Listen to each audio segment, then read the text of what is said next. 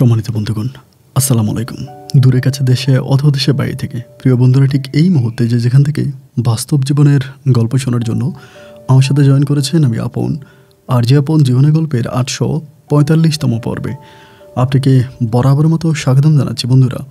আজ আমি আপনাকে শোনাবো নোয়াখালীর ছেলে মোহাম্মদ ফরহাদ হোসেনের জীবনের।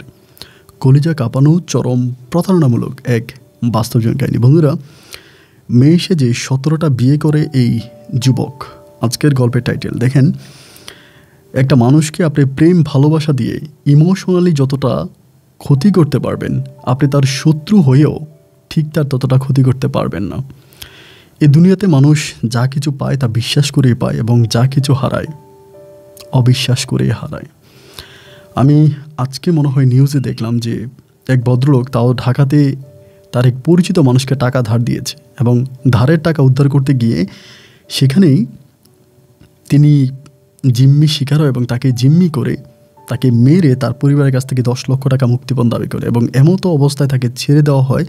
তার এমন কিছু ভিডিও করা হয়, এমন ক্ষতি তার করেছে সমাজের মুখে মুখ দেখানোর মতো অবস্থা নেই।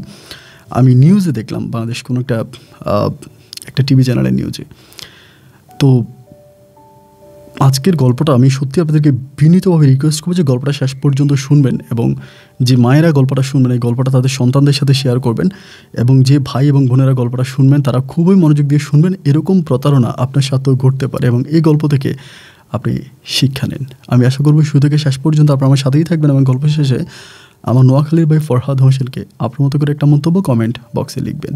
ধন্যবাদ সবাইকে। সম্মানিত বন্ধুগণ, আসসালামু আলাইকুম। আমরা মোহাম্মদ। ফরহাদ হোসেন, আমার বাড়ি নোয়াখালী। বন্ধুরা, আমি আমার জীবনের কল্পনা শুরু করার শুরুতে আপনাদেরকে আমার পরিবারের ব্যাপারে জানিয়ে রাখি। আমার পরিবারে আমি আছি, আমার বাবা আছে, মা আছে, তাছাড়া রয়েছে আমার দাদা, দাদি সহ আমার একজন কাকা আর জেঠু। নোয়াখালী শহর থেকে অনেক দূরে কোনো এক প্রত্যন্ত গ্রামে আমাদের পরিবারটা ছিল এক উচ্চবিত্ত পরিবার। আমার বাবা পেশা একজন প্রবাসী। আমি খুব ছোটোবেলা থেকে দেখে আসছি আমার আব্বু সৌদি আরবে থাকে এবং সৌদি আরবে থেকে আমার বাবা অনেক বেশি টাকা পয়সা ইনকাম করে। বাবার ওই ইনকামের টাকা দিয়ে আমার কাকাকে আমার বাবা ইটালিতে পাঠায় এবং শুধু তাই নয়, আমার যে বড় জেঠু আছে, আমার বড় ওই জেঠুকে আমাদের নোয়াখালী শহরেই আমার বাবা অনেক বড় একটা ব্যবসা ধরিয়ে দেয়। আমার বাবা যথেষ্ট পরিমাণের অনেক বেশি টাকা পয়সার মালিক ছিল। সৌদি আরবে আমার বাবার নিজস্ব অনেকগুলো ব্যবসা প্রতিষ্ঠান ছিল। আমার কোনো ভাই বোন ছিল না। বাবা মায়ের একমাত্র সন্তান থাকার কারণে আমার বাবা মা দুজনে আমাকে অনেক আদর এবং ভালোবাসতো। তাদের আদর ভালোবাসা নিয়ে আমার শৈশবের দিনগুলো অনেক ভালো কাটে। আমার জেঠু এবং আমার কাকা তারাও বিয়ে করে, কিন্তু তাদের ঘরে কোনো পুত্র সন্তান হয় না।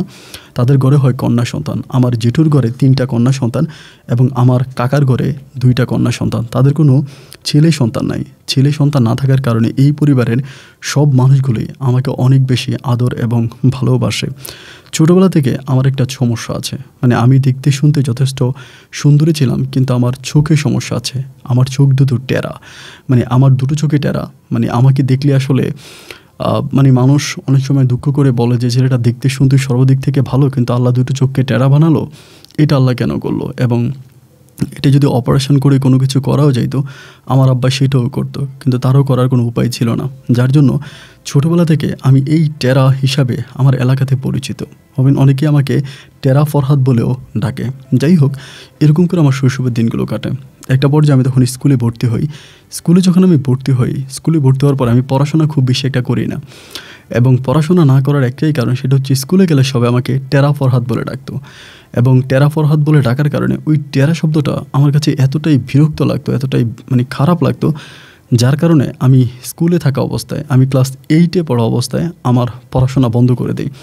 স্কুল জীবনে আমার অনেক বন্ধু থাকে, অনেক বান্ধবী থাকে বাট তাদের সাথে আমার খুব ভালো একটা সম্পর্ক থাকে না। ক্লাস এইটে পড়া অবস্থায় আমি তখন পড়াশোনা বন্ধ করে দিই এবং পড়াশোনা বন্ধ করে দিয়ে আমি পরিবারের সাথে থাকতে শুরু করি। আমার মায়ের সাথে, আমার জেঠুর সাথে, কাকার সাথে এবং কাকিমাদের সাথে আমি খুব সুন্দর করে আমি দিনগুলো কাটাচ্ছিলাম।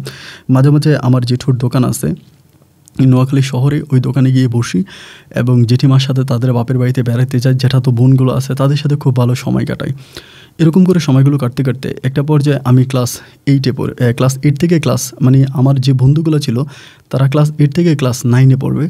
তো নাইনে পড়া অবস্থায় আমাদের বেসে একটা মেয়ে ছিল সাথী বলে। তো নাইনে আপনারা অনেকেই জানেন যে সরি ক্লাস নাইনে না ক্লাস টেনে এসএসসি পরীক্ষার জন্য তো টাকা পয়সা লাগে। তো আমার একজন বান্ধবী ছিল। মানে বান্ধবী বলতে আমরা একসাথেই পড়াশোনা করতাম। ওর নাম ছিল সাথী। তো সাথী তখন করল কি? মানে সাথীর সাথে আমার মাঝে মাঝে কথা হইতো। আমাদের মোবাইল ফোনের মাধ্যমে মাঝে মাঝে সাথীর সাথে আমার কথা হইতো। এবং স্কুলের অন্য অন্য বন্ধুগুলোর সাথে আমার মোটামুটি সবসময় যোগাযোগ হতো। তো ক্লাস টেনে উঠে সাথে যখন পরীক্ষা দিবে মানে রেজিস্ট্রেশন করবে ফর্ম ফিল আপ করবে পরীক্ষার জন্য ওই সময়টাতে ওর কাছে টাকা নাই। ও কিন্তু দেখতে শুনতে যথেষ্ট ভালো ছিল এবং আমাদের ক্লাসে মোটামুটি খুব সুন্দর একটা মেয়ে ছিল। আমার এক বন্ধু আছে শান্ত, ও আমাদের ক্লাসেই পড়াশোনা করতো। ও তখন হঠাৎ করে আমাকে বলে যে, দোস্ত, দেখ, সাথী তো আসলে পরীক্ষা দিতে পারতেছে না ও টাকার দরকার। তো আমরা সবাই মিলে একটু হেল্প করি হেল্প করে ওকে পরীক্ষা দেওয়াবো তুই যেহেতু পড়াশোনা করতেছিস না, তোর কাকার জেঠুর দোকানে বসিস, তোর তো মোটামুটি অনেক টাকা পয়সা আছে। এবং তুই যদি একটু মানে হেল্প করে সাথীকে একটু পরীক্ষা দেওয়ার ব্যবস্থাটা করে দেস, আমরা সবাই দিব। এবং তার মাঝে তুইও যদি আমাকে একটু দেস। শান্ত যখন এই কথাটা বলল, আমি তখন চিন্তা করলাম যে, আমার তো টাকা পয়সা অনেকই আছে, অনেক টাকা পয়সাই আছে। যেটু দোকানে গেলে যেটু প্রতিদিন দুশো, তিনশো টাকা করে দেয়, আম্মু টাকা দেয়, আব্বু সৌদি আরব থেকে টাকা পাঠায়, আবার আমার যে কাকা আছে, কাকা ইতালি থাকে, কাকার সাথেও ফোনে কথা হয়, কাকাও সবসময় টাকা পয়সা দেয়। তো পরিবারের সব মানুষগুলোই তো আমাকে টাকা পয়সা দিচ্ছে, আমার কাছে অঢাল টাকা। তো আর বন্ধু বান্ধবরা সবাই চান্দা উঠেয়া সাথীর রেজিস্ট্রেশন ফর্ম ফিল আপ করার দরকার কি? এটা আমিই করে দিব। মানে আমার কাছে এটা মনে হলো। এবং মনে হওয়ার পর থেকে আমি তখন সম্পূর্ণ আমার টাকা দিয়ে সাথীর ওই ফর্ম ফিল আপটা করাই দিই। এবং এতে সাথী অত্যন্ত খুশি হয়। এত বেশি খুশি হয় যে আমি বলে বোঝাতে পারব না। আলহামদুলিল্লাহ, এরকম করে সাথী তখন পরীক্ষা দিচ্ছিল। আমার মনেও খুব শান্তি জাগলো যে আমি পরীক্ষা দিতে পারিনি তো কি হয়েছে অন্তত আমার টাকায় আমার একটা ক্লাসমেট তো পরীক্ষা দিতে পারতেছে। এটা ভেবে আমার মনের ভিতরে অনেক শান্তি লাগে যে যাই হোক, আলহামদুলিল্লাহ। এবং আল্লাহর কাছে প্রার্থনা করি, সাথী যাতে মোটামুটি খুব ভালো রেজাল্ট করে, ভালো পাশ করতে পারে। এই জিনিসটা তখন নিজের মনের ভিতরে জাগতেছিল। তো এরকম করে শাহি তখন পরীক্ষা দেয় এবং পরীক্ষার রেজাল্ট আউট হওয়ার পরেই তা আমি তখন সাথীর সাথে মাঝে মাঝে ফোনে কথা বলে দেন, জিজ্ঞেস করেছি, কী করো? মানে তুমি করোটা কি? তো বলে তেমন কিছুই করি না। পরীক্ষার পরে অবসরে থাকে, তখন আমি থেকে কম্পিউটার ক্লাস করানোর জন্য নোয়াখালী শহরে আমার কাকার যেখানে দোকান আছে, দোকানের পাশে আমি ওকে বলি যে, ওইখানে তুমি কম্পিউটার ক্লাস শিখ, ক্লাস করো, কম্পিউটার শিখো, আমি টাকা দিব। দেন সম্পূর্ণ আমি টাকা দিই এবং আমার টাকায় সাথী তখন ওইখানে কম্পিউটার ক্লাস করে মানে কম্পিউটার চালানো শেখায়। শিখে দেন ওইখানেও ভর্তি হয়। তো আমি যেহেতু কাকার দোকানে বসি, সকালে যাই, বিকেলে আসি, তো দেখা যায় আমি সকালে যাওয়ার সময় সাথী আর আমি একসাথে যাইতাম। একসাথে বাসে করে যাইতাম। এবং গেলে পরে আমাদের শহরের দোকানে আমি বসতাম, সাথে তখন ওই কম্পিউটার দোকানে কম্পিউটার শিখতো। এরকম করেই সময়গুলো কাটতেছে। এমন করতে করতে বেশিরভাগ সময় সাথে সাথে আমার খুব ভালো একটা সম্পর্ক তৈরি হয়। এই যে একসাথে যাই, একসাথে আসি এবং সেখানে সে কম্পিউটারে ক্লাস করে। তো আমি তাকে কম্পিউটার ক্লাস করার জন্য টাকা দিয়েছি, এসএসসি পরীক্ষার জন্য ফর্ম ফিল আপ করিয়েছি বা তার এসএসসি পরীক্ষার সমস্ত খরচের টাকা আমি দিয়েছি। তো সর্বদিক থেকেও আমাকে মোটামুটি অনেকটা মানে আমি অনেক, ওকে অনেকটা হেল্প করেছি। ওই জায়গা থেকেও আমাকে অনেকটা পছন্দ করে। দুজনের মাঝে মোটামুটি খুব ভালো একটা সম্পর্কই আস্তে আস্তে করে সামনের দিকে যাচ্ছিল। তো এরপর ওর এসএসসি রেজাল্ট আউট হয়। এসএসসি রেজাল্ট যখন আটু আউট হয় এসএসসিতেও খুব ভালো একটা রেজাল্ট করে। মানে মোটামুটি খুব ভালো রেজাল্ট করে এবং এসএসসি রেজাল্ট আউট হওয়ার পরে আমি তখন বললাম যে, সাথী, কী করবা?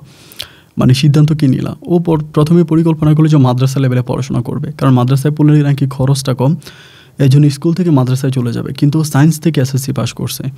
তা আমি তখন ভাবলাম যে, তুমি তো সায়েন্স থেকে এসএসসি পরীক্ষা দিয়েছ, তো সায়েন্স থেকে যেহেতু এসএসসি পরীক্ষাটা দিয়েছ দেন সেখানে তুমি মাদ্রাসায় পড়াশোনা করবা কেন? তুমি স্কুলেই পড়ো এবং স্কুলে পড়লে একটা পর্যায়ে তুমি ভালো অবস্থানে যেতে পারবা। যেহেতু সায়েন্স থেকে পড়াশোনা করছ, তো তুমি কলেজেই পড়ো। তো কলেজ লাইনে আমি তাকে আবারও ভর্তি করাই। যদিও হতে চায় না মানে ও বলে মাদ্রাসায় বলব, আমি জোর করে তাকে কলেজে ভর্তি করাই। এবং নোয়াখালীর একটা সুনামধন্য কলেজেও তখন পড়াশোনা করে। তো আস্তে আস্তে করে আমি ওর সাথে ফোনে কথা বলতেছি, ফোনে কথা বলতেছি, দেখা করতেছি এবং ওর পছন্দের যে ড্রেসগুলো আছে, পছন্দের জামা কাপড়কে কিনে দিচ্ছি মানে সব কিছু মিলিয়ে ওর সাথে আমার খুব মধুর একটা সম্পর্ক। একটু একটু করে বিল্ড আপ হচ্ছে, অনেক মধুর একটা সম্পর্ক। যেমন ওর সাথে কথা না বলতে পারলে আমার ভিতরে খুব কষ্ট হয়, আমি মানসিকভাবে অনেকটা ভেঙে পড়ি। একইভাবে আমাকে ফোন না দিয়েও কথা বলতে না পারলে ও খুব কষ্ট পায়। মানে দুজন দুজনের মাঝে মোটামুটি অনেক মধুর একটা সম্পর্ক হয়ে যায়। বাট এই সম্পর্কটা কোনো প্রেম ভালোবাসার না। আমি ওকে আজ পর্যন্ত ভালোবাসি বলি নাই বা ও আমাকে বলে নাই? বাট দুজনের মাঝে ফ্রেন্ডলি খুব ভালো একটা সম্পর্ক। অনেক ভালো একটা সম্পর্ক। এরকম এক পা, দুই পা করতে করতে তখন intermediate first the first year থেকে সেকেন্ড ইয়ারে উঠল। তো তখন পর্যন্ত কিন্তু আমি ওই কাকার দোকানেই আমার জেঠুর দোকানেই আসি ওরকম করতে করতে ও যখন ইন্টার ফার্স্ট ইয়ার থেকে সেকেন্ড ইয়ারে উঠল সেকেন্ড ইয়ার ওঠার পরে তো আমার পরিবার থেকে তখন আমাকে সিদ্ধান্ত নেওয়া হলো যে তারা আমাকে দেশের বাইরে পাঠিয়ে দিবে। মানে আমার ওই কাকার কাছে পাঠিয়ে দিবে ইতালিতে। কাকা তখন বলল যে, ইতালির এগ্রিকালচার বিষয় বের করবে? আমি যেন ইতালিতে চলে যাই। এই বিষয় নিয়ে আম্মুর সাথে, তারপরে আমার বাবার সাথে, বাবা সৌদি আরবে থাকতো। বাবার সাথে আমার কাকা কথাবার্তা বলে, যেমন এমন কথা ফরহাদকে ইতালিতে নিয়ে আসি এবং এখানে আসলে অনেক ভালো থাকবে? তো সর্বদিক থেকে ওরকম করে বলতেছে। তো বলার পরে আমার তো আমার কাছে তখন মনে হলো, আমি যদি ইতালি চলে যাই, তাহলে তো আমি হচ্ছে মানে সাথীকে পাবো না। আমি তো সাথীকে ভালোবাসি। সো আমার জীবনের জন্য সাথীকে অনেক প্রয়োজন। আমি ইতালি চলে গেলে সাথীকে হারাবো সো আমি ইতালিতে যাব না। আমি শুধুমাত্র সাথীর জন্য মানে শুধুমাত্র সাথীর জন্য আমি ইতালি যাওয়াটা ক্যান্সেল করে দিলাম। আমি ইতালিতে গেলাম না। আমার কাকা মোটামুটি সব কিছুই প্রায় ঠিক করছিল। আমি খুব সহজেই যেতে পারতাম, কিন্তু আমি ইতালিতে সাথীর জন্য যাই নাই। কারণ সাথীর মানে এইচএসসি পরীক্ষা শেষ হওয়ার পরে আমার পরিকল্পনা ছিল যে আমাকে মেডিকেলে ভর্তি করাবো, ও মেডিকেলে পড়াশোনা করবে এবং আমি ওকে বিয়ে করব। ওইরকম একটা চিন্তাভাবনা আমার মাথায় তখন কাজ করতেছিল। তো এরকম করতে করতে ও তখন ইন্টারমিডিয়েট পরীক্ষা দেয় এবং ইন্টার পরীক্ষাটা দেওয়ার পরে তো আমার ভিতর তখন মনের ভিতর জাগলো যে আমাকে মেডিকেলে পড়াশোনা করাবো। মানে তখন আসলে মনে হয়নি এসএসসির পরে বাট ইন্টার পরীক্ষাটার পরে মনে হলো যে মেডিকেলে পড়াশোনা করাবো এবং ও যদি মেডিকেলে চান্স পায় মানে মেডিকেলে চান্স পাওয়ার পরে দেন আমি তাকে ভালোবাসি, এই কথাটা বলব, বা মেডিকেলে চান্স পাওয়ার পরে। তা আমি তখন তাকে এইভাবে বললাম যে ইন্টার পরীক্ষার পরে যে তুমি মেডিকেলে মেডিকেল লাইনে পড়াশোনা করো, আমি তোকে মেডিকেলে পড়াশোনা করাবো। এরকম করে তাকে বলি দেন বলার পর ও তখন বিভিন্ন মেডিকেল সেন্টার থেকে ও তখন ফর্ম টানতে থাকে। এরকম করে টানতে টানতে বাংলাদেশের একটা সরকারি মেডিকেল মেডিকেল কলেজে ও তখন ভর্তি পরীক্ষা দেয় এবং আলহামদুলিল্লাহ ওই ভর্তি পরীক্ষা তখন টিকে যায়। এবং ভর্তি পরীক্ষায় টিকে গেলে পরে এত পরিমাণের আমি খুশি হই, আমার মতো খুশি মনে হয় দুনিয়াতে আর কেউ হয় না। এই যে সাথীর ক্লাস নাইন থেকে শুরু করে ক্লাস টেন থেকে শুরু করে আজকে এই মেডিকেল মেডিকেলে পড়া মানে মেডিকেলে ভর্তি হওয়া পর্যন্ত যত রকমের টাকা পয়সার মানসিক সাপোর্ট যা কিছু প্রয়োজন, সমস্ত কিছু কিন্তু আমি দিয়েছি। সবসময় আমি তার সাথে সুখে দুঃখে এমনভাবে মিশেছিলাম যেন আমি তার আত্মার আত্মীয়, পরম নিকট আত্মীয় এবং সেও আমাকে ছাড়া একটা মুহূর্ত কিছু বুঝতো না। কোনোভাবে আমার ফোন বন্ধ দেখলে বাড়িতে চলে আসতো, কাকার দোকানে চলে মানে জেঠুর দোকানে চলে যেত। ফোন বন্ধ পেলে পাগল হয়ে যেত, এরে ওরে ফোন দিত, কিরে ফরাদের ফোন বন্ধ কেন? এত পরিমাণে আমাকে ভালোবাসতেও পছন্দ করতো। তো যার জন্য আসলে ভালোবাসি কথাটা বলা হয়নি বাট দুজন দুজনকে অনেক ভালোবাসি। এরকম করতে করতে যখন মেডিকেলে চান্স পাইলো মেডিকেলে চান্স পাওয়ার পর তখন চট্টগ্রামে থাকতেছে। দেন ও তখন চট্টগ্রামে চলে যায়, গ্রাম থেকে চট্টগ্রামে মেডিকেলে ভর্তি হয় তো ওইখানে ও তখন থাকে।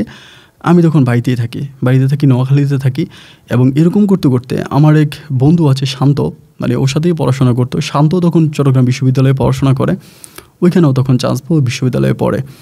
তো ও তখন বিশ্ববিদ্যালয়ে ভর্তি হয় এবং একইভাবে সাথী হচ্ছে মেডিকেলে ভর্তি হয়। ওরা ওইখানেই থাকতো।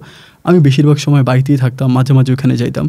এরকম করে প্রায় ও মেডিকেলে ভর্তি হওয়ার আট, নয় মাস পেরিয়ে গেছে এবং তখন থেকে পরিবার আমার উপরে খুব বেশি একটা প্রেশার দিতে শুরু করছে। আমার যেটু তো বলতেই আছে, কাকাও বলতেছে বিদেশ থেকে, আব্বাও চাপ দিতেছে, আম্মাও বলতেছে যে হয় তুই বিয়ে কর, না হয় তুই বিদেশে যা, কিছু একটা কর। মানে আমাদের এলাকাটা আসলে খুব বেশি একটা ভালো ছিল না। মানে বেশিরভাগ পলাপানি ছিল বকাটে, নেশা করতো এবং নেশা, নেশাগ্রস্ত অবস্থায় বেশিরভাগই থাকতো। তো এই জন্য আমার আম্মুর চিন্তাভাবনা হলো যে আমি যদি গ্রামে থাকি, তাহলে হয়তো আমি খারাপ হয়ে যাব, নেশা করব এবং খারাপ পোলাপানের সাথে মিশবো, খারাপ হয়ে যেতে পারি। এই চিন্তাভাবনা থেকে আম্মু তখন ভাবলো যে বিয়ে করাই দিলে আমি ঘরেই থাকব, আমার বউ নিয়ে থাকব। আর বিদেশ চলে গেলে আমি বিদেশে গিয়ে টাকা পয়সা ইনকাম করব। দেন তাহলে তো আর সমস্যা নেই। এজন্য আম্মু তখন আমাকে বলল যে, হয় তুই বিয়ে কর না হয় তুই হচ্ছে মানে বিদেশে চলে যা। বিদেশে তুই ইতালিতে গেলে তোর কাকার কাছে যা আদার্স তুই যদি তোর বাবার কাছে সৌদি আরবে যা সেখানেও যা। সৌদি আরবে তোদের আমাদের ব্যবসা বাণিজ্য আছে, এগুলো দেখাশোনা করবি। তো পরিবার থেকে এভাবে বলল এবং এদিক থেকেও বলতেছে আমি ভাবলাম যে কি করা যায়? আজ পর্যন্ত তো সাথীকে ভালোবাসি কথাটা বলা হয়নি, বা সাথীকে আমি ভালোবাসি এটা বলে না। আর বললে তো এক কথায় রাজি হয়ে যাবে, কারণ সাথীদের পরিবারটা অনেক নিম্নবিত্ত একটা পরিবার।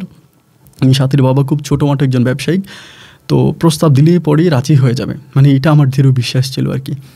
সেই বিশ্বাস থেকে একদিন দুই দিন তিন দিন করতে করতে আমার ওই যে বড় জেঠাদা বোন আছে, আমার সানজিদা আপু সানজিদা আপুর বিয়ে হয়েছে। তাই সানজিদা আপুর সাথে একদিন আমি কথায় কথায় বললাম যে, সানজিদা আপু অমুক বাড়ির সাথী মেয়েটাকে তোমার কেমন লাগে? মানে ওকে কে ভালো লাগে? দেখতে শুনতে কেমন? সঞ্জিতা আপু বলতেছে হ্যাঁ ভালোই তো। মানে মেয়ে তো দেখতে খারাপ না। মানে কথাবার্তা, আচার, আচরণ বা সর্বদিক থেকে আমার কাছে তো খুব ভালোই লাগল। কেন? কী হয়েছে? ওই মেয়ের সাথে তোর কোনো সম্পর্ক আছে নাকি? আমাকে সাথে মানে আমাকে সঞ্জিতা আপু এরকম করে বলতেছে। আমি তখন বললাম যে, আপু, দেখো, এরকম একটা বিপদে পড়ছি। আব্বা মা আমাকে খুব প্রেশারে ফেলে দিছে। একে তো বলতে বলতেছে হয় বিদেশে চলে যাওয়ার জন্য, না হয় বিয়ে শাদী করার জন্য। এখন বিয়ে শাদী যে করব, আমার ওই সাথী মেয়েটাকে অনেক ভালো লাগে, ও দেখতে শুনতে খুব ভালো।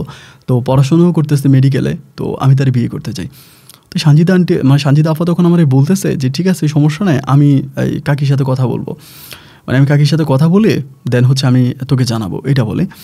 তো সে মনে হয় আমার আম্মুকে বলে, আম্মুকে বলার পর আমি তখন দোকানে থাকি। দোকানে থাকে নোয়াখালীতে আম্মু তখন আমাকে কল দেয় মানে দুইটার পরে। কল দিয়ে বলতেছে যে, ফরহাদ তো আজকে একটু তাড়াতাড়ি বাড়িতে চলে তোর কাকা জেঠুর দোকান থেকে তাড়াতাড়ি বাড়িতে তোর সাথে কথা আছে। তো আমি যখন এটা বললাম, আমি তখন তাড়াতাড়ি দোকান বাট বন্ধ করে খুব তাড়াতাড়ি চলে আসলাম অন্যদিনের তুলনায়। বাড়িতে আসার পরে আম্মু আমাকে বলতেছে যে, আমাকে তো সানজিদা এটা এটা বলল, এটা কি সত্য? তা আমি নিচের দিকে তাকে আছি, কিছু বলি না। আম্মু আমাকে বলো, তুই আমার কাছে সত্য করে বল যে এটাকে যে ও যে বলল, এই কথাটা কি সত্য? And তুই কি এমনি এমনি ওরে পছন্দ করিস নাকি? সাথীরে আমি বললাম যে হেমা আহ, সানজিদা যেটা বলেছে এটা ঠিকই বলেছে যে আমি আসলে ওরা পছন্দ করি এবং মন থেকে ভালোবাসি। আমার আম্মু তখন বলতেছে যে আলহামদুলিল্লাহ আমারও এই মেয়েটার অনেক ভালো লাগতো। আমি মনে মনে চাচ্ছিলাম যে তোরা আমি এই কথাটা বলি যে মেয়েটা দেখতে শুনতে খুব ভালো এবং আমিও চাচ্ছিলাম যে ওকে আমি আমার ঘরের বউ বানাই। এবং ও পড়াশোনা করতেছে কিছুদিন পর ডাক্তার হবে এবং ডাক্তার হওয়ার পরে তো আলহামদুলিল্লাহ আমাদের পরিবারে মুখ উজ্জ্বল করবে। এবং এই ইচ্ছাটা আমার মনেও ছিল। তো ঠিক আছে তুই যেহেতু চাচ্ছিস তাহলে আমি সানজিদার বাবার কাছে বিয়ের প্রস্তাব পাঠাবো। আমি বললাম হ্যাঁ মা, তুমি প্লিজ এটা করো তাড়াতাড়ি। সানজিদার আব্বুর কাছে বিয়ের প্রস্তাব পাঠাও এবং আলহামদুলিল্লাহ সব কিছু সরি সাথীর আব্বুর কাছে বিয়ের প্রস্তাব পাঠাও এবং পাঠাইলে আলহামদুলিল্লাহ সব কিছু ঠিক হবে। আমি আম্মুকে এটা বললাম এবং বললে পরে, আম্মু তখন বলল আচ্ছা ঠিক আছে, সমস্যা নাই, আমি পাঠাবো। তো এই যে কথাবার্তাগুলো হচ্ছে, আমি কিন্তু সাথীকে কোনো কিছুই বলতেছি না। মানে সাথীর মা, সাথীকে আমি কোনো কিছুই বলি না, তার কারণ আমার চিন্তা ভাবনা ছিল যে আমি সাথীকে একটা মানে সারপ্রাইজ দেব মানে অবাক করে দিব যে এরকম এরকম, আমার, তোমার পরিবারের কাছে আমি বিয়ের প্রস্তাব পাঠাইছি বাট তোমাকে জানাই নাই। এরকমভাবে তাকে একটা সারপ্রাইজ দেওয়ার আমার ইচ্ছা ছিল, যে তাকে অবাক করে দিব। তো যাই হোক, এরপরে আম্মু সমত বিয়ের প্রস্তাব পাঠাইছে। পাঠানোর পরে সাথীর আব্বু সময় নিয়েছে। আমার আম্মুকে বলল যে, ঠিক আছে, সমস্যা না এখন তো মেয়ে বড় হয়েছে মেয়ে তো পড়াশোনা করতেছে, সুতরাং আমার মেয়েরও তো একটা মানে পছন্দ আছে বা মেয়েরও তো একটা কিছু আছে। তো আমার আম্মু বলল যে, দেখেন আপনার মেয়ের সাথে আমাদের ফরহাদের অনেক ভালো সম্পর্ক, উঠা, বসা, চলাফেরা সর্বদিক থেকে খুবই ভালো। সুতরাং এটা নিয়ে আপনার চিন্তা করতে হবে না। আপনি নিশ্চিত থাকেন যে ওরা দুজন দুজনকে অনেক পছন্দ করে অ্যান্ড সে জায়গা থেকে ওরা মেনে নিবে। মানে আমার ছেলে যেহেতু মানে আপনার মেয়েও মানবে। আপনি নিদ্রিদায় আপনি রাজি থাকতে পারেন। তারপরেও সাথীর আব্বু বলল যে, ঠিক আছে, সমস্যা নেই। এরপর আমি মেয়ের সাথে কথা বলি। মেয়ে যেহেতু চিটঙ্গে থাকে, আমি তার সাথে ফোনে কথাবার্তা বলি। এই কথা বলার পরে দুই দিন সময় নিল। এই দুই দিনের মাঝে আমি সাথীর সাথে যখনই কথা বলি, সাথে যেন আমার সাথে একটু কেমন কেমন করে কথা বলে। মানে খুব বেশি একটা আমার সাথে কথা বলতে চায় না। ফোন দিলে খুব কমই কথা বলে। আর আমি আসলে ওর সাথে খুব বেশি একটা কথা বলতে পারতাম না। মানে জাস্ট হচ্ছে বেশিরভাগই সময় তো দোকানপাট নিয়ে থাকতাম, ব্যবসা বাণিজ্য নিয়ে থাকতাম। খুব বেশি একটা কথা বলার সময় আসলে আমার হতো না। খুব কম কমে কথা বলতাম। তো এরপর ওকে ফোন দিলে খুব একটা ধরতে চাইতো না। দুই দিন পরে সাথীর আব্বু আমার মাকে জানায় যে, দেখেন বোন, আমার তো কোনো আপত্তি ছিল না, কিন্তু আমার মেয়ে তো মানে আপনার ছেলেকে বিয়ে করার জন্য রাজি না। মানে সাথী নাকি তার বাবার কাছে বলছে। বলার পরে আমাকে আমার মতো তখন বিষয়টা বলল যে, ফরহাদ, এই ঘটনা সাথী নাকি তোকে বিয়ে করার জন্য রাজি না? আমার আম্মা বলতেছে, আমি বললাম যে, আম্মা, এটা তুমি কি বললা? এটা কি সত্য? অনামা বলে হ্যাঁ সত্য। সাথীর আব্বার সাথে তো আমার কথা হলো এবং সাথীর আব্বা আমাকে এটা জানাইলো যে, বোন, আমার, আমি তো রাজি আছি, আমার তো কোনো সমস্যা নাই এবং আপনার পরিবার আমার মেয়েটাকে বিয়ে দিতে পারলে আমি নিজেও মানসিকভাবে অনেকটা শান্তি পাবো। কারণ আপনাদের পরিবারটা অনেক ভালো একটা পরিবার। আপনি, আপনার হাজব্যান্ড সবাই যথেষ্ট পরিমাণের ভালো মানুষ। কিন্তু বোন, আমার মেয়ে তো এই বিয়েতে রাজি না। মানে আমার মেয়ে তো আপনার ছেলেকে বিয়ে করার জন্য রাজি না। তা আম্মু যখন এই কথাটা আমাকে বলল, বলার পরে মানে আমার ভিতর এক কথাই মনে হলো যে ওর বাবা মিথ্যা কথা বলতেছে। মানে সাথীর আব্বু মিথ্যা কথা বলতেছে। কারণ সাথীর সাথে আমার এত মধুর একটা সম্পর্ক, এত গভীর একটা সম্পর্ক সাথী আমাকে পছন্দ করে, আমিও তাকে করি। একটা মুহূর্ত আমার সাথে কথা না বলতে পারলে পাগল হয়ে যায়। তাহলে সেই জায়গার ভিতরে সাথী মানে নো নেভার এটা আসলে পুরোই মিথ্যা কথা। এটা ওর বাবা আমাকে মিথ্যা বলছে বা আমার আম্মুকে মিথ্যা বলছে। আমার কাছে মনে হলো আর কি। যেহেতু আমি দেখতে টেরা বা এই জন্যই হয়তো তার বাবা রাজি হচ্ছে না, যেহেতু সে মেডিকেলে ভর্তি হয়েছে, তাকে মেডিকেলে পড়াশোনা করাবে।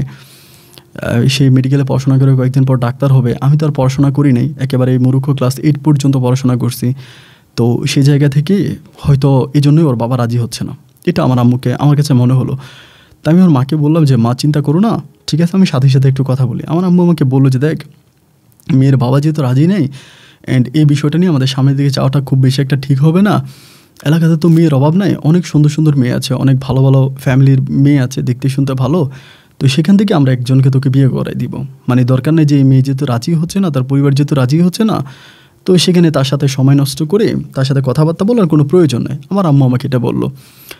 তাই মারে বললাম যে, মা আচ্ছা ঠিক আছে, সমস্যা নাই, তুমি চিন্তা করো না, আমি দেখা যাক মানে দেখি কি হয়। আম্মুকে এটা বললাম। যে, আম্মু, দেখি কি হয়, তুমি চিন্তা করো না। এই কথা বলে, দেন এবার আমি সাথীর সাথে কথা বলব, সাথীকে ফোন করলাম। করার পরে সাথী আমি বললাম যে, সাথী, কিছু মনে করো না, তোমাকে একটা কথা জিজ্ঞেস করো তুমি তো আসলে অনেক ব্যস্ত থাকো, আমাকে খুব বেশি একটা টাইম দিতে পারো না। তো আমি আসলে তোমার কাছে টাইম চাইও না, যেহেতু পড়াশোনা করো, পড়াশোনার জন্যই তোমার বেশিরভাগ সময় কেটে যায়। তোর সাথে আমাকে ছোট্ট একটা প্রশ্নের জবাব কি তুমি দিবা? যে, এরকম এরকম ঘটনা, এখন এটা আদত কতটুকু সত্য? বা তোমার আব্বু তোমাকে কিছু বলছে কিনা, বা তুমি কিছু বলছো কিনা?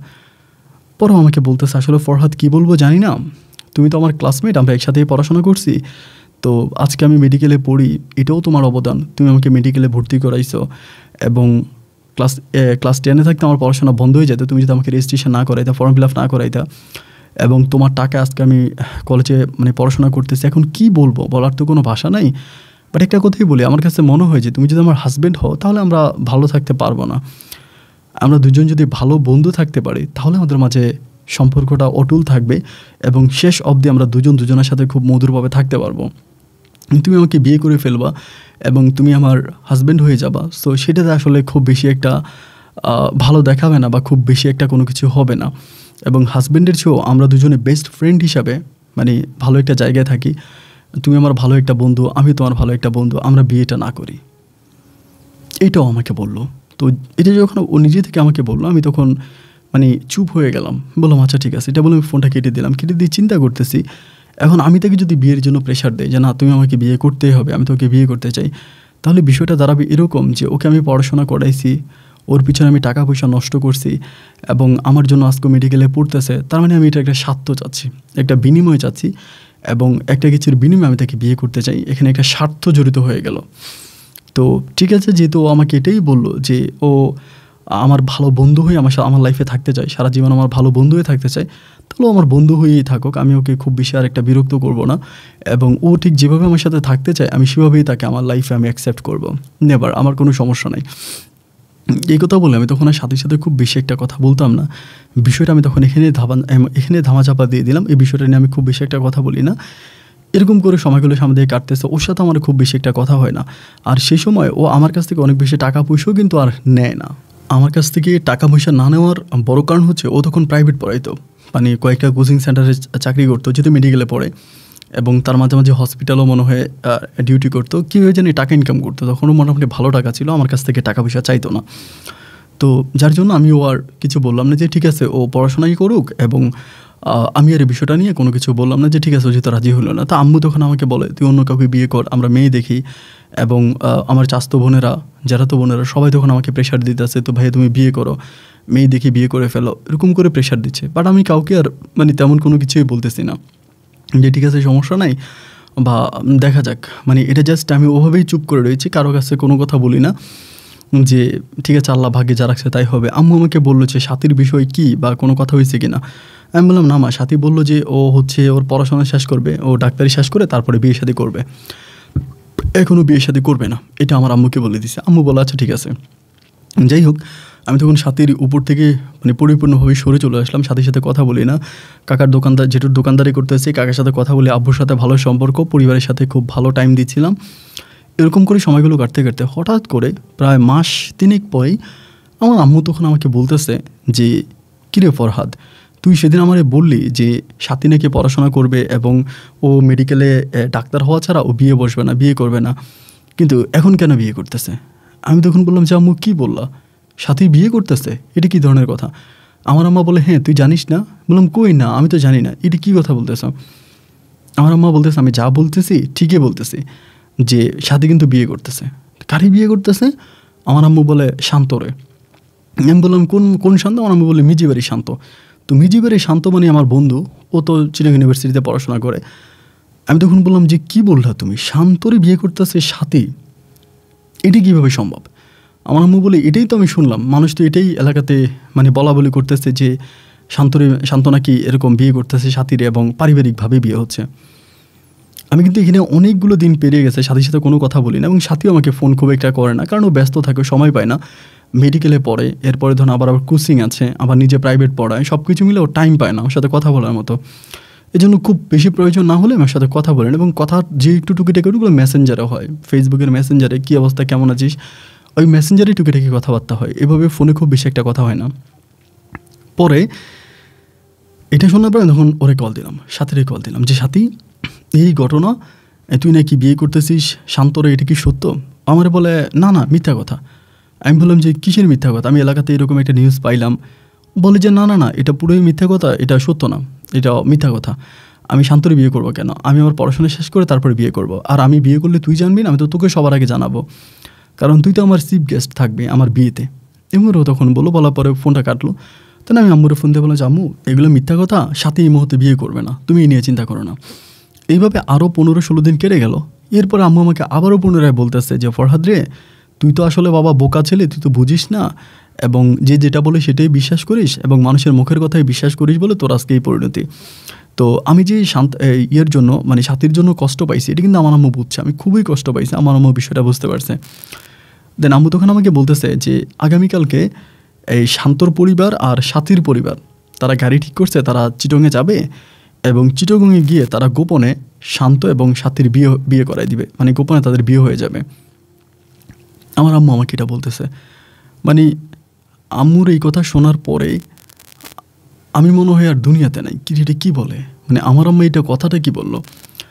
আমি তখন বললাম যে, আম্মু মানে তুমি যেটা বলতেছো এটা কি ঠিক বলতেছো? সত্য কথা? আমার আম্মু বলে অবশ্যই সত্য কথা। আমি মিথ্যা বলতে যাব কেন? এবং এটা যে তারা পারিবারিকভাবে সিদ্ধান্ত নিয়েছে, তারা এইভাবে যাবে, তা সবার সাথে মোটামুটি কথাবার্তা হয়ে গেছে। এরকমভাবে ওরা যাবে। আমি তখন বললাম যে এটা তো হতে পারে না। মানে আমার সাথে অ্যাটলিস্ট সবাই মিথ্যা বলল, সাথী আমার সাথে কখনোই মিথ্যা বলবে না, কারণ ওর উপর আমার খুব বিশ্বাস আছে যে ও কোনোভাবেই আমার সাথে মিথ্যা বলবে না। তাহলে এটা কি হলো? মানে বিষয়টা হলো কি? কোনো কিছুই বুঝতে পারলাম না। তখন মনটা ভীষণ খারাপ হয়ে গেল। ওরা যে আমার সাথে এত বড় বেইমানি করবে, এটা আমি কখনো স্বপ্ন চিন্তা করতে পারিনি। এটা আমার কখনো স্বপ্নের মধ্যেও ছিল না। আমি তখন মানে আম্মুরে বললেন যে, আম্মু, ঠিক আছে, সমস্যা নাই। তুমি টেনশন করো না, আমি দেখতেছি। পরে আমি আমাদের এলাকায় যেই মানে মাইক্রোবাস চালায় আর কি মানে নিয়মিত এলাকার মাইক্রোবাসে নিয়ে যাবে। তো ওইখানে একটা ছেলে আছে ওরা পরিচিত, ওরে ফোন দিলাম, যে ফোন দিয়ে বললাম যে, এমন এমন সাথীর আব্বু কিংবা শান্তর আব্বু কি তোদেরকে মাইক্রোবাস ভাড়া করার বিষয়ে কোনো কথা কথা বলছো নাকি চিটংয়ে যাওয়ার ব্যাপারে? পরে ওই ছেলেটা আমাকে বলতেছে হ্যাঁ হ্যাঁ সাথীর আব্বুর সাথে আমার কথা হয়েছে সাথীর আব্বু ফোন দিছে, বলতেছে যে মাইক্রোবাস নিয়ে তারা চিটংয়ে যাবে আগামী দিন। আমি বললাম যে, ঠিক আছে, ভালো কথা, চিটংয়ে যাবে, তো তুই আমারে জানাবি যে চিটংয়ে তারা কখন রওনা দিচ্ছে এবং কোথায় যাচ্ছে। ও বলে আচ্ছা ঠিক আছে। পরে আমি আম্মুরে কোনো কিছু বললাম না। আম্মুরে কোনো কিছু না বলে সারাটা রাত আমি ঘুমাইতে পারি নাই এবং আমি আর শান্তরও কল দিলাম না, সাথীরও কল দিলাম না।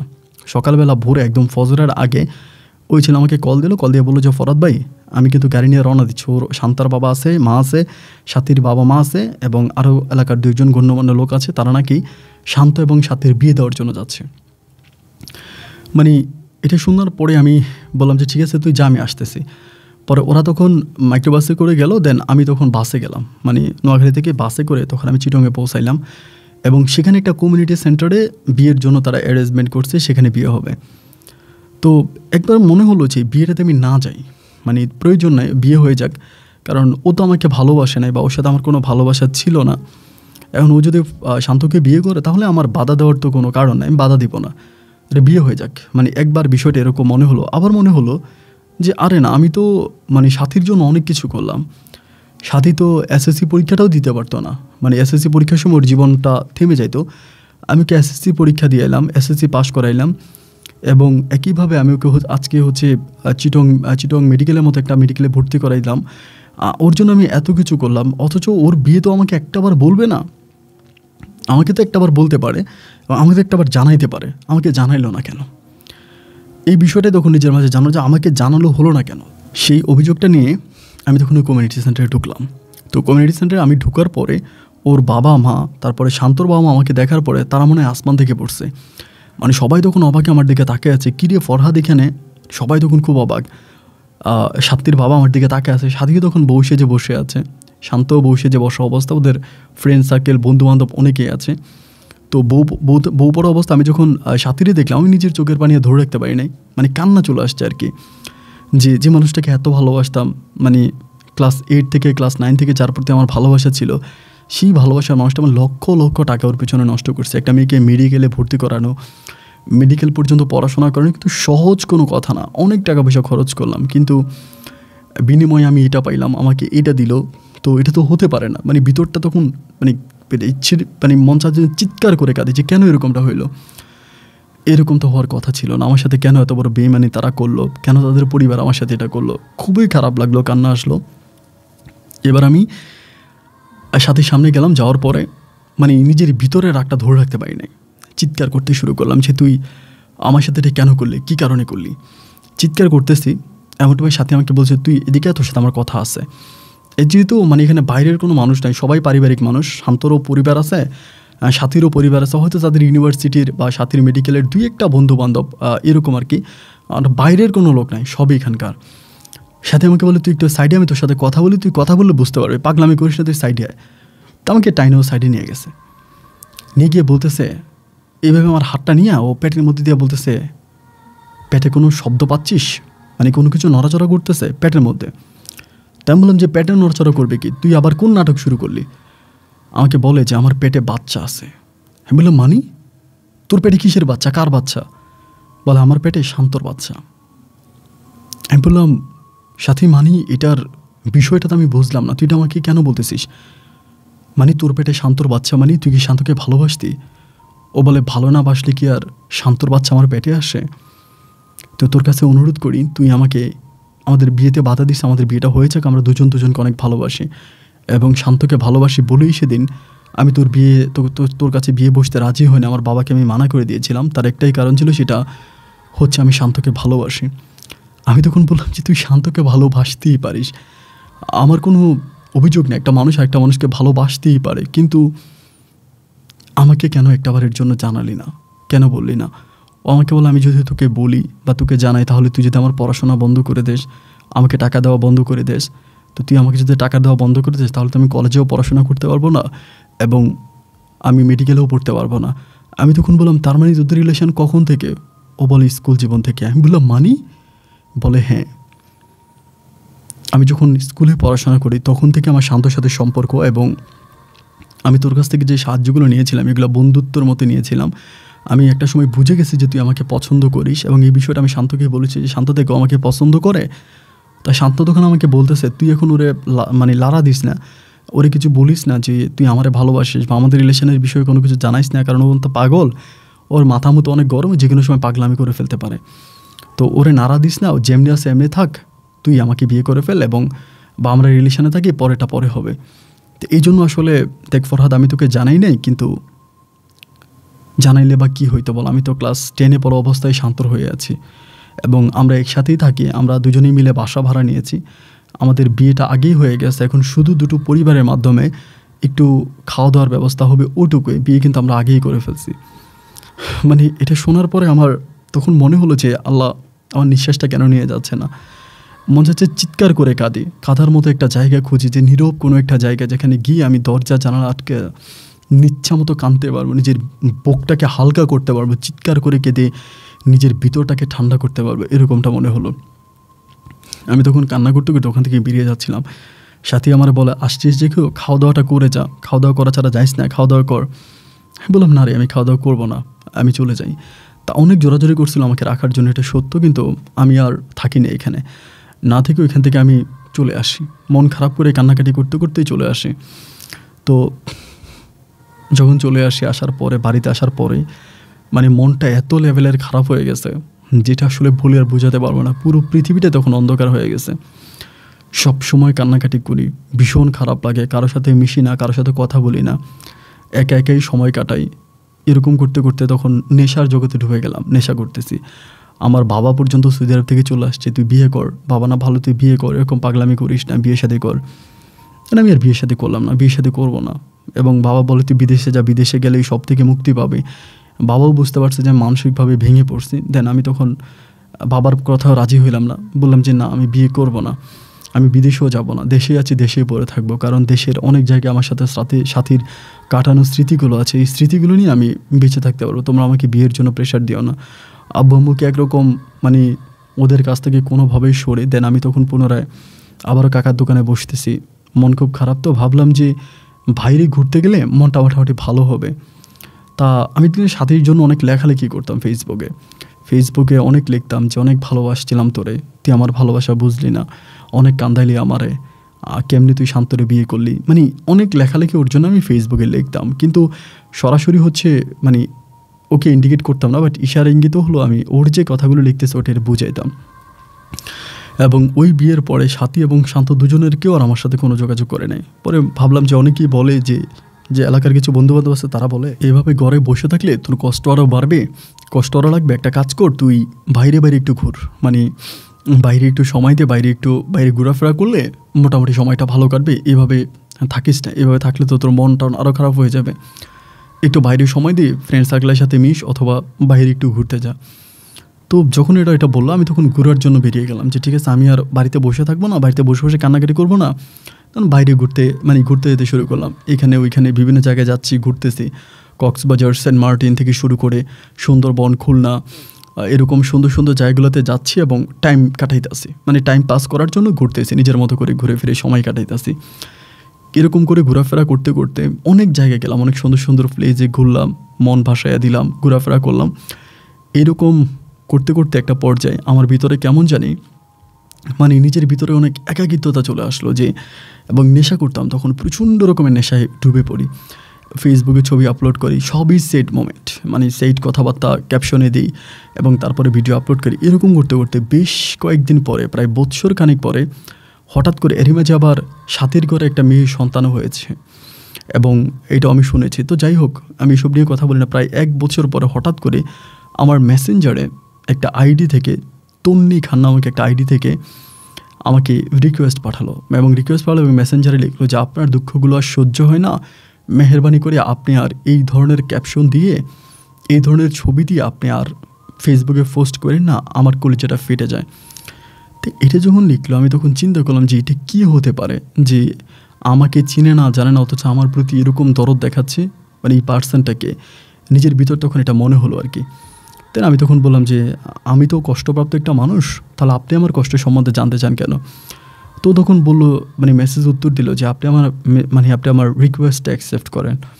তাই আমি তখন তার রিকোয়েস্টটা অ্যাকসেপ্ট করলাম। করার পরে মেসেঞ্জারে সে আবার ডিরেক্টলি আমাকে কল দিল। তা কল দেওয়ার পর আমি রিসিভ করি না। তো দুইটা কল আসার পর রিসিভ করলাম। রিসিভ করার পরে ওদের কান্না করতেছে। তাই আমি বললাম যে, আপনি কাঁদতেছেন কেন? মানে আপনি কান্না করতেছেন কেন? পরে বলতেছে, আপনার ফেসবুকের প্রতিটা পোস্ট আমি দেখেছি। এবং আমার এতটা খারাপ লাগছে, আমি আসলে অনেক ইমোশনাল অনেক আবেগে আমি এই জিনিসগুলো নিতে পারি না। আমার কাছে অনেক খারাপ লাগে এবং আমার সত্যি অনেক কষ্ট হচ্ছে আপনার জন্য। তো আমি বললাম যে, আপনি কি? আমি তো আপনাকে চিনি না। বলে, আমার নাম তন্নি খান। আমি চট্টগ্রামে থাকি, আমি চট্টগ্রামের মেয়ে এবং আমি পড়াশোনা করি চট্টগ্রাম মেডিকেলে আমি তখন বললাম যে মেডিকেলে পড়েন? মেডিকেলে কোথায় পড়েন? তো সে আমাকে বলল যে, অমুক বেসে পড়ে মানে ইয়ার টিয়ার সব কিছু দিল, যে অমুক বেসে পড়ো, সব ঠিকানা দিল। দেওয়ার পরে আমি তখন বললাম যে মেডিকেলে তো আমার একটা বেইমান পড়াশোনা করতো। পরে বলে যে, কি আপনি নাম বলেন, আমি দেখি চিনতে পারি কিনা? তা আমি বলতে চাই না। তারপরেও জড়াজড়ি করতেছে আমাকে। একবার যে আমি তখন বললাম যে, ওর নাম হচ্ছে সাথী, অমুক বেসে পড়তো। পরে আমাকে বলে হ্যাঁ ভাই আমি তো চিনি, উনি তো আমার সিনিয়র উনি আমার সিনিয়র আমি বললাম যে, তোমার সিনিয়র বলে হ্যাঁ। তো বলে ভাই কী হয়েছে? আপনার সাথে একটু বলেন না আমাকে। আমি বলতে চাই না, তারপরেও আমার সাথে খুব জোরাজোরি করে। যে, ভাইয়া প্লিজ আপনি বলেন, যদি বলেন আমার একটু ভালো লাগবে, আপনি একটু বলেন না।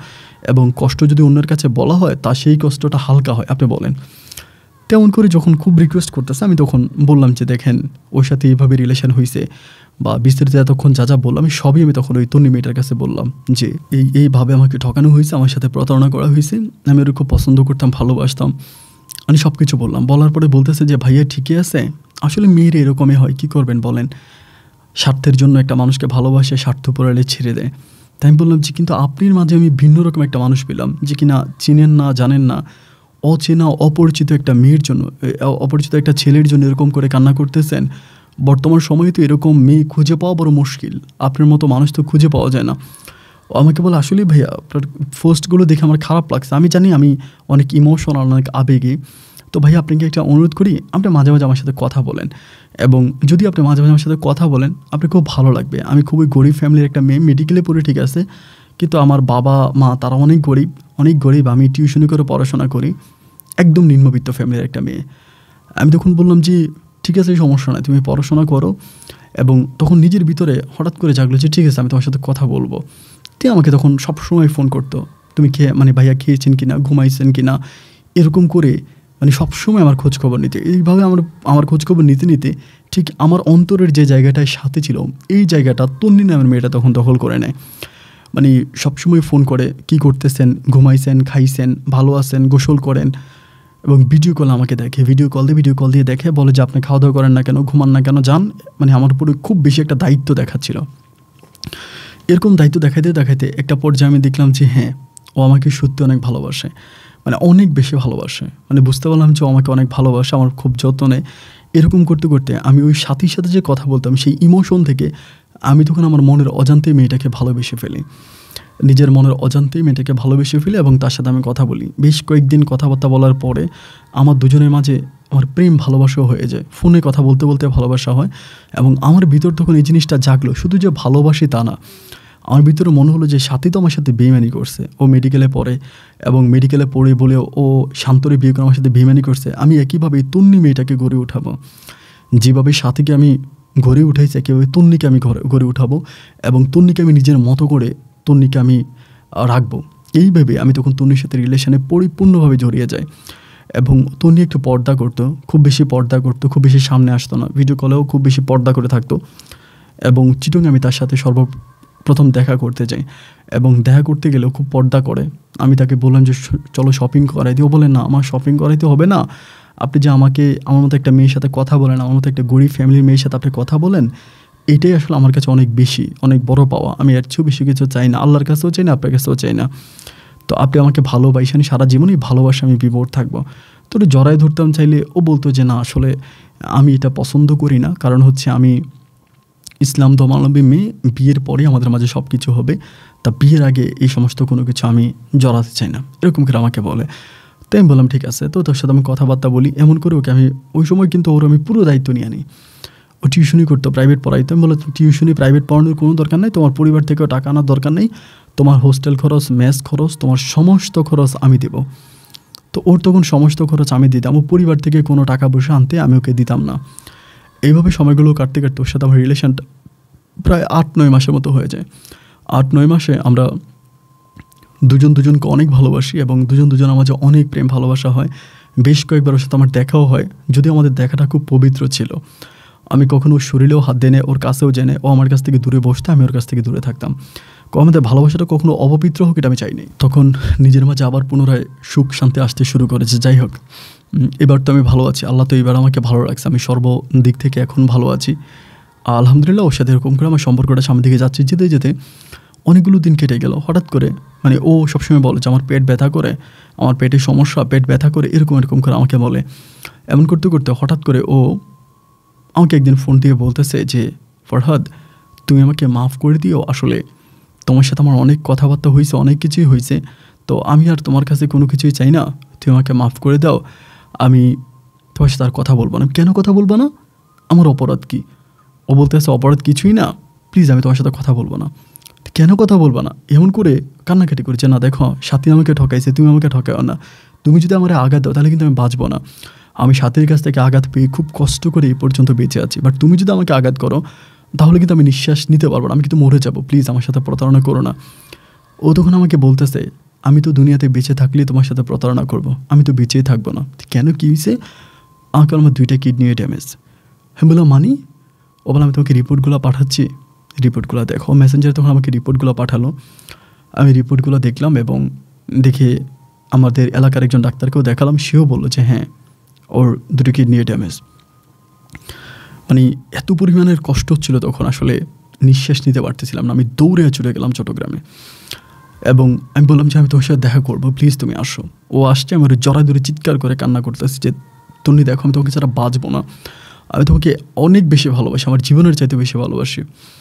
তা, আমি তোমার কিডনি ট্রান্সফার করব, তুমি কথা বলো। তুমি তো ডাক্তার, সো তুমি তো বোঝো। ও বলে হ্যাঁ জানি কিডনি ট্রান্সফার করানো যাবে, কিন্তু টাকা লাগবে, অনেক টাকা। ও বলে, প্রায় পাঁচ লাখ টাকার মতো লাগবে। আমি বললাম, পাঁচ লাখ টাকা? পাঁচ লাখ টাকা আমি ম্যানেজ করব। ও বলে, তুমি এত টাকা কোথায় পাবা? তুমি তো কোনো ইনকাম করো না, তোমার তো কোনো ইনকাম সোর্স নাই, তুমি এই টাকা আমাকে দিবা থেকে আমি বললাম যে, আমি যেখান থেকেই পারি, আমি ম্যানেজ করব। আমি যদি তোমাকে টাকা ম্যানেজ করে দিই, তাহলে তো তুমি তাহলে তোমার কোনো সমস্যা নাই। ও আমাকে বলে যে, না, তুমি কোথেকে ম্যানেজ করবা? তুমি টাকা কোথায় পাবা? ভাই, আমি কি বলব আসলে? বলার মতো কোনো ভাষা নেই। আমি তখন কি করলাম, আমার পরিবারে, আমার আব্বু তখন ছুটিতে বাংলাদেশে আসছে। তা পাঁচ লাখ টাকা কিন্তু আসলে মুখের কথা না। ওই সময় আমি জেঠুর দোকানেও কিন্তু বসি না। কারণ আমি যখন নেশা করতাম, প্রচুর নেশা করতাম এবং ওই সময় জেঠু আমাকে দোকান থেকে বের করে দেয়। যে যেটা বলে আমার আমার দোকানে সিগারেটের গন্ধ আসে, তারপর নেশার গন্ধ আসে, তুই আমার দোকান থেকে বেরিয়ে যা। তো জেঠু আমাকে তখন দোকান থেকে বের করে দিল। তো বের করে দেওয়ার পর আমি তখন আর জেঠুর দোকানে বসি না, তো বাইরে বাইরে থাকতাম। ওই সময় আব্বু তখন দেশে আসছে। দুঃখের কথা ভাই, কী বলব? আমি তখন এই টাকাটা ম্যানেজ করার জন্য, আমি আমাদের ঘরে আমার নিজের ঘরে নিজে চোর ঢুকাই। মানে আমার এলাকারই এক ছেলে আছে, ওরে আমি হায়ার করেছি, তোরে আমি বিশ হাজার, পঞ্চাশ হাজার টাকা দিব, তুই আমার এই কাজটা করে দে। ওরে আমি ঘরে ঢুকাই, ঢুকাইয়া আমার আব্বার পাসপোর্ট তারপর আমার গয়নাগাটি আমাদের বাসায়, আমার আম্মুর যা ছিল সব কিছু চুরি করাই, নিজে চুরি করাই। চুরি করাই ও তখন নিয়ে চলে যায়। সকালবেলা আমি তখন চিৎকার দিই যে ঘরের মালামাল চুরি হয়ে গেছে, আব্বু তখন চিৎকার চেঁচামেছি এবং আসলে কিন্তু আব্বুর যে পাসপোর্টটা ছিল, এটা কিন্তু ইচ্ছা করে নেয় না পাসপোর্টটা পাসপোর্টটা আসলে ওই স্বর্ণগোটা গয়না গয়নাগুলোর সাথে ছিল, যে ব্যাগে ছিল, ওই ব্যাগটা নিয়ে যাওয়ার সময় আব্বুর ইয়েটা শনিয়া যায় পাসপোর্টটা শনিয়া যায়। পরে আমার আব্বু তখন হার্ট অ্যাটাক করার মতো অবস্থা, কারণ আব্বুর পাসপোর্টে ভিসা লাগানো, আব্বু পাসপোর্টটা মতো আব্বু বিদেশে যেতে পারবে না। আব্বুর ভিসা ক্যান্সেল হয়ে যাবে, এমনি আব্বুর কফিল খুব ঝামেলা করতেছে আব্বুর সাথে। এই অবস্থার মধ্যে যদি পাসপোর্ট হারাই যায়, তাহলে তো আব্বু বাঁচবে না। আব্বু কান্নাকাটি করতেছে। পরে আমার, আমি ওরে বললাম যে, আমার আব্বুর পাসপোর্টটা দিয়ে দেবো বলে, ভাই, দিব কেমন করে? পাসপোর্ট তো নিয়ে আসছি। আমরা ঠিক আছে, আগে গয়নাকাটিগুলো দেখ যে গয়নাকাটিগুলোর দাম কীরকম হয়, এগুলো বাজারে উঠা। ও তখন গয়নাকাটিগুলো বাজারে উঠায় উঠা মানে উঠানোর জন্য এলাকাতে কথাবার্তা বা যেখানে দেখানো দরকার ওখানে দেখাই, ওখানে তিন লাখ টাকা, প্রায় তিন লাখ সামথিং এরকম হচ্ছে গয়নাকাটি থাকে। অত বেশি গয়না না আর কি, আমার যেহেতু বোন নাই, আর আমার মা স্বর্ণ স্বর্ণ খুব বেশি একটা পছন্দ করতো না। তো যার জন্য আর নগদ টাকা নিতে পারে নাই, নগদ টাকা। আমার আমার আম্মু নগদ টাকা কোথায় রেখেছে তিনিই ভালো জানে বাট গয়নাকাটিগুলো নিতে পারছে। তো বলো, ভাই, তিন লাখ টাকা থেকে একটু বেশি হবে। তা আমি বললাম যে তাহলে এই টাকা নিয়ে তো আসলে কোনো লাভ হবে না, আমার তো পাঁচ লাখ টাকা দরকার। তারপরে তখন গয়নাগাটিগুলো বিক্রি করে দিলাম। নোয়াখালী শহরের দিকে যাই গয়নাগাটিগুলো বিক্রি করলাম, করার পরে ওই ছেলেটা ছিল ওরে কিছু টাকা দিলাম। যে, তুইও কিছু টাকা পয়সা নিয়েছে ওরে কিছু দিলাম। এবং বাকি দুই লাখ টাকার জন্য, ভাই, কি আর বলব, দুঃখের কথা, আমি হঠাৎ করে আমার আব্বুরে বললাম যে, আব্বু, এমন এমন ঘটনা, আমি চেষ্টা করি বের করা যায় কিনা? পরে আমার আব্বুরে আমি নিজে ওই ছেলেকে দিয়া ফোন করাইলাম। আব্বুরে ওই ছেলে ফোন দিয়া বলল যে, আমি আপনার পাসপোর্ট নিয়ে গেছি, আপনার ঘরে চুরি করছি। তা পাসপোর্ট তো আর আমার কোনো কাজে আসবে না। এটা তো আপনার পাসপোর্ট আপনার পাসপোর্ট আপনাকে দিয়ে দেবো, আমাকে দুই লাখ টাকা দিতে হবে। আমার আব্বু বলে দুই লাখ টাকা না তোর বিশ লাখ টাকা দিবে আমার পাসপোর্ট দিয়াতে। ওই ছেলে বলে, ঠিক আছে, তাহলে আপনি অমুক জায়গায় টাকাটা একদিনে দিয়ে যান, পরের দিন আমি পাসপোর্ট ওখানে রেখে যাব। আমার আব্বু তখন আমার বলে, কি রে, ওইখানে দুইটা লাখ টাকা দিয়ে আসা কি ঠিক হবে? বলে আব্বু, অবশ্যই ঠিক হবে। ঠিক না হওয়ার কিছু নাই, কারণ আমাদেরকে পাসপোর্ট পাইতেই হবে। আর ও যদি পাসপোর্ট দিয়েও করবে কেউ, তো পাসপোর্টে কোনো কাজ নাই। যদি বেশি টাকা চাইতো তাহলে একবারেই চাইতো। যেহেতু দুই লাখ টাকায় চাইছি, দুই লাখ টাকা দিয়ে দিই, দিয়ে দিয়া ওইখান থেকে আমরা পাসপোর্টটা নিয়ে এসো। পাসপোর্ট দিবে, আমি শিওর আব্বা, তুমি টাকাটা দাও। পাসপোর্টটা যদি চাও তাহলে তুমি টাকাটা দাও। মানে আমি আমার আব্বাকে ঠান্ডা বাতাস দিচ্ছিলাম। এই বলে আব্বাকে আমি তখন ম্যানেজ করি। ম্যানেজ করার পরে আবু তখন টাকা দেওয়ার জন্য রাজি হয়। আবু ব্যাংক থেকে টাকা উঠে আনে, আনলে পরে দুই লাখ টাকা ও যেই লোকেশান দেয় মানে আমি তো ওই লোকেশান দিই, আমাদের এলাকাতে একটা জায়গা ঠিকানা বলে, ওইখানে আব্বু আর আমি গিয়ে টাকাটা রেখে আসি। এবং রেখে আসার পর আমি ওরা ফোন করি, তুই টাকাটা ওখান থেকে নিয়ে যা, ও তখন নিয়ে যায় এবং পাসপোর্ট ওই জায়গায় রেখে যায়। পরের দিন সকালবেলা আমি আর আব্বা যাই এবং সেখান থেকে আমরা তখন পাসপোর্টটা নিয়ে আসি। তা আব্বা তখন ওই নাম্বারটা অনেক যাচাই বাছাই করছে, অনেককে দেওয়ার জন্য। আমি তখন বলছি, আব্বু, দেখো, এগুলো করার দরকার নেই, কারণ এগুলো যারা করে তারা ভালো মানুষ না। চাইলে আমাদের আরও ক্ষতি করবে, আমাদের চার পাঁচ লাখ টাকা নিয়ে গেছে, এই নিয়ে তুমি চিন্তা ভাবনা করো না, বাদ দাও। এই সম্পূর্ণ প্রসেসিংটা শেষ হওয়ার পরে প্রায় পাঁচ লাখ টাকার কাছাকাছি আমার কাছে হয় এবং আমি তন্নিরে বলি, তন্নি, তুমি কথা বলো। তখন তন্নি কথা বলে এবং যেখানে কথা বলে, সেখানে কথাবার্তা বলে সব কিছু ঠিকঠাক করে। আমি তো ওই সময় আব্বুকে সময় দিচ্ছিলাম, বাড়ি থেকে যেতে পারতেছিলাম না, যেরকম একটা ঘটনা ঘটে গেছে। এবং তন্নি তখন সম্পূর্ণ প্রিপারেশন নিয়ে নেয় অপারেশনের জন্য এবং সেখানে সে তখন অপারেশন করবে। তার পরিবারের সাথে আমার ভিডিও কলে কথা হয়, তার আব্বুর সাথে, আম্মুর সাথে। ও বলে, তুমি আইসো না, আমার সাথে জাস্ট ফোনে কথা বইলো, কারণ আমার আব্বু আম্মু একটু ধার্মিক মানুষ, তারা যদি বুঝতে পারে তোমার সাথে আমার সম্পর্ক আছে, তাহলে তারা আমার অনেক ক্ষতি করবে। তুমি জাস্ট তাদের সাথে কথা বলো। তার আব্বু আম্মুর সাথে কথা বলি। তো তারাও জানে না যে ওর সাথে আমার রিলেশন আছে বাট তারা জানে আমি আর তন্নি হচ্ছে খুব ভালো ফ্রেন্ড আর কি, এরকম। যাই হোক, এভাবে চলার পরে দেন এরকম করে গেল ঘটনাটা ওর সাথে আমার এরকমটা হইল। হওয়ার পরে জাস্ট এটা ওখানেই সমাধান। টাকা দিয়ে দিলাম, ওরা অপারেশন করল এবং তনির অপারেশনও মোটামুটি সাকসেস হলো, আমি আর যেতে পারলাম না। অপারেশনের সাকসেসের দিন আমি গিয়েছিলাম, তো ও আমাকে আসলে ওভাবে আমার সাথে দেখা করে না কারণ ওর পরিবার আছে। ও বলল যে, আমার আব্বু খুব ধার্মিক, তারা এগুলো কখনো অ্যাকসেপ্ট করবে না অ্যালাউ করবে না, তোমার সাথে আমাকে দেখলে। তো আমি তার সাথে ওই দেখা করতে পারলাম না অপারেশন হয়ে গেল। অ্যান্ড আমার আব্বু তখন পুনরায় আবারও সৌদি আরবে চলে গেল। পরে তার সাথে দেখা করতে গেলাম, যেখানে অপারেশন হলো অপারেশনের দাগটাও আমাকে দেখাইলো যে, দেখো, এখানে অপারেশন হয়েছে কিডনি ট্রান্সফার হয়েছে আলহামদুলিল্লাহ, আমি তখন তার জন্য দোয়া করলাম। আল্লাহ যদি তাকে সুস্থ করে এবং সে হসপিটালের বেডে শুয়ে আমাকে ভিডিও কল আমার সাথে কথা বলছে সব কিছু দেখাইছে। কোনোভাবেই যে তাকে আমি সন্দেহ করব, এরকম কোনো সুযোগ কিন্তু নাই। সব কিছু আমাকে দেখাই দিছে। যে হোক সব কিছু ঠিকঠাক মতো কাটলো, কাটার পরে এবার একটা পর্যায়ে আমি চিন্তা করলাম, যদি সব কিছু ঠিকই চলতেছে, আমি তো বিয়ে করি নাই বলে তন্নিকে সাথীরে হারাইলাম, তাহলে আমি তন্নিরে বিয়ে করে ফেলব। ওরে আমি বিয়ে করে ফেলব, বিয়ে করে এরপরে যা হবার তা হবে। তো আমি বিয়ে করার জন্য প্রেশার দিলাম যে, চলো আমরা বিয়ে করে ফেলি। আর আমার ইয়েকে কোনো কিছু বলার দরকার নেই, তোমার পরিবারকে কিছু বলার দরকার নেই, আমার পরিবারকে বলার দরকার নেই জাস্ট বিয়ে করে রাখবে এবং তুমি যখন এমবিবিএস শেষ করবা, তারপর আমি তোকে উঠে আনব, এখন কাউকে বলার দরকার নেই। কিন্তু ভাই, বিয়ের কথাটা বলার পরেই ও জানি কেমন হঠাৎ করে একটু পিছলে যায় মানে বিয়ে করার জন্য রাজি না। তো আমি বললাম যে, তুমি আমাকে বিয়ে করবা না?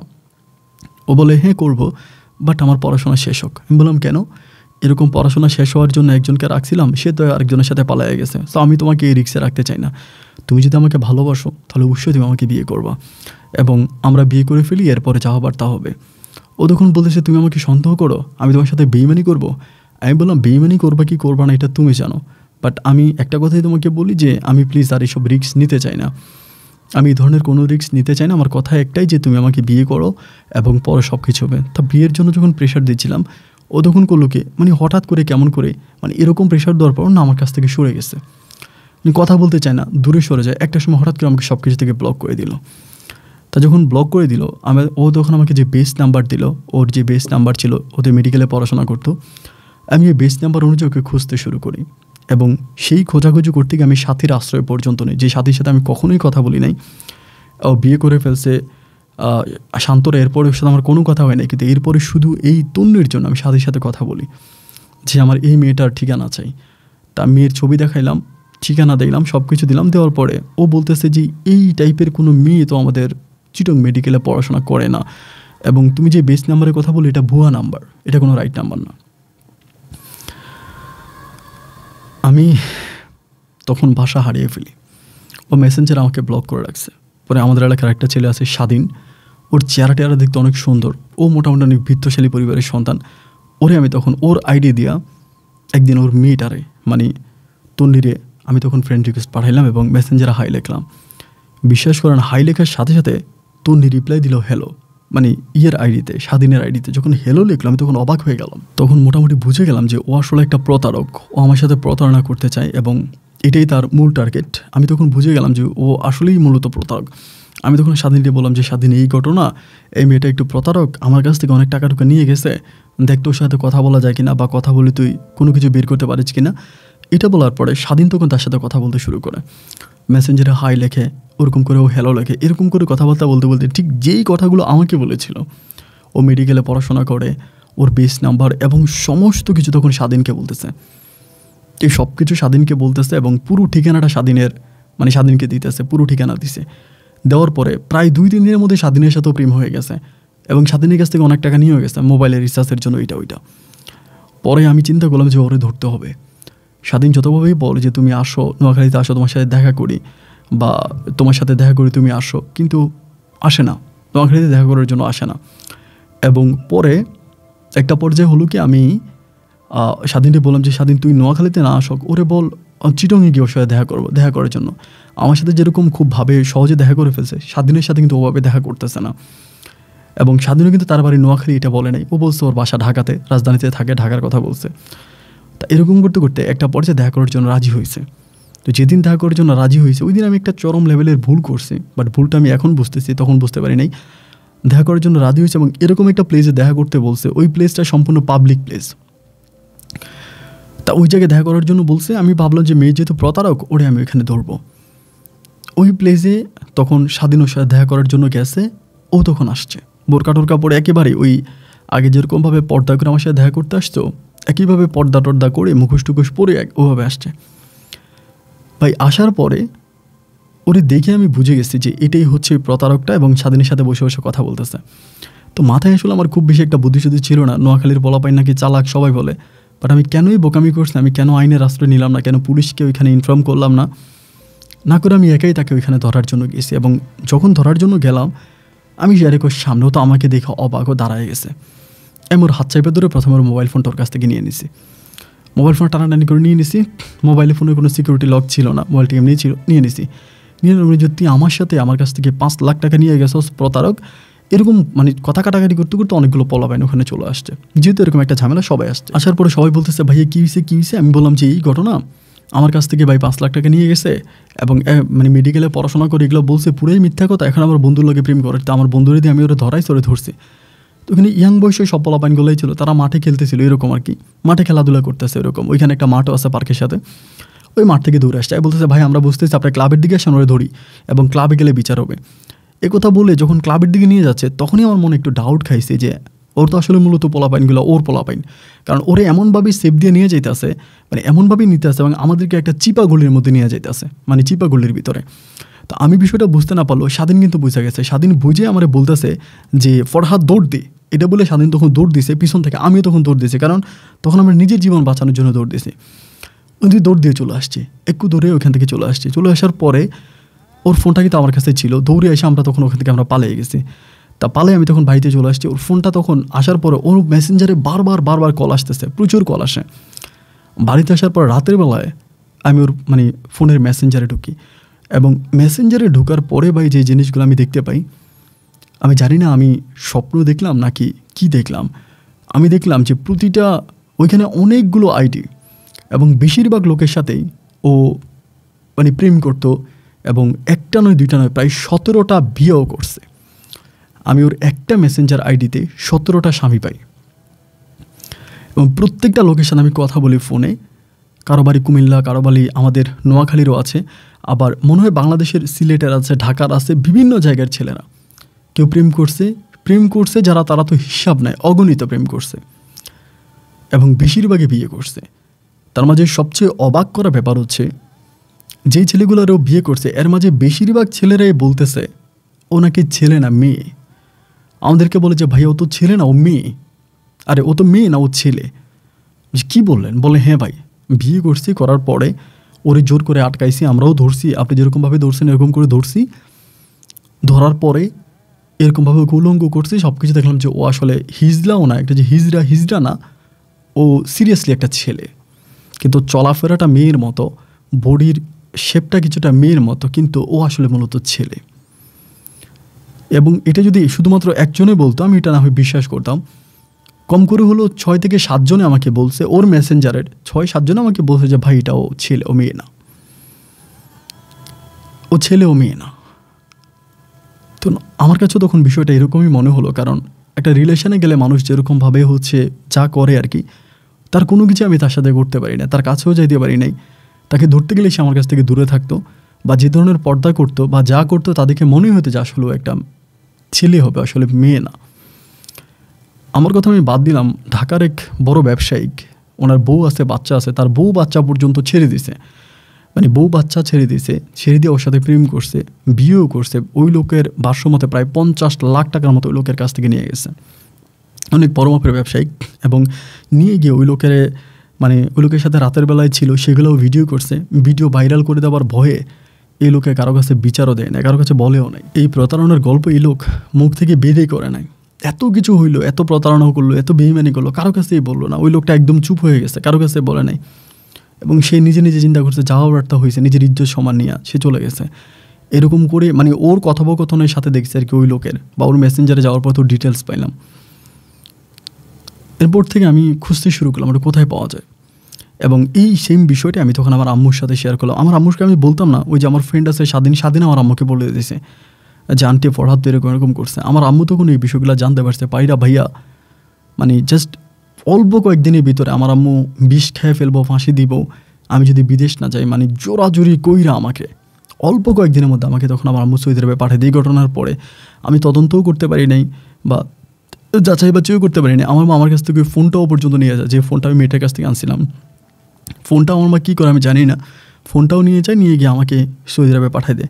এবং সৌদি আরবে আমি প্রায় এক দেড়, এক দুই বছরের মতো থাকি। আমার আব্বুর সাথে ওইখান থেকে আমি দেন ইতালিতে চলে যাই। তো এখন আমি ইতালিতে আছি। তো এই যে আমার সাথে ঘটনাগুলো ঘটলো, আজও আমার কাছে এই তন্নির বিষয়টা অবাক লাগে। সবাই আমাকে বলে, ওর নাম কিন্তু তমাল। তমাল রায়, ও হিন্দু। মুসলিম না, বলে হিন্দু সম্প্রদায়ের একটা ছেলে, নাম হচ্ছে তমাল। এবং ও এগুলোই করে। ও কিন্তু মুসলিম না, ও হিন্দু। এবং সবাই বলে মানে যতগুলো ছেলের সাথে ও কথাবার্তা বলছিল, সবাই আমাকে বলছে যে ওর নাম তমাল, ও কিন্তু তন্নি না তন্নি নাম ব্যবহার করে কিন্তু ওর নাম তমাল ও হিন্দু। তো ইতালিতে আসার পরে এত অনেকগুলো বছর কেটে গেল, আসলে আমার সাথে কি ঘটলো? আমি ওই তন্নি খান আইডিটা আর পেলাম না। আইডিটাই ও ব্যান্ড করে দিয়েছে এবং ওর ঠিকানাও ব্যান্ড করে দিয়েছে। ওর ঠিকানা, মিকানা আমি যা জানতাম সবই ফেক ছিল, কোনোটা আসলে রিয়েল ছিল না। এবং হসপিটালে শুয়ে আমাকে ভিডিও কল দিয়েছে হসপিটালে ডাক্তারের সাথে কথা বলেছে, ওর বাবা মার সাথে কথা বলেছি।